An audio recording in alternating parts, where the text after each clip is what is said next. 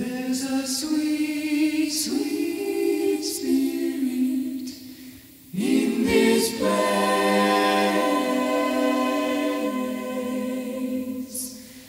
and I know that it's the spirit of the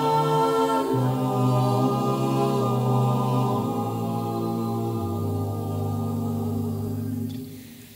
There are sweet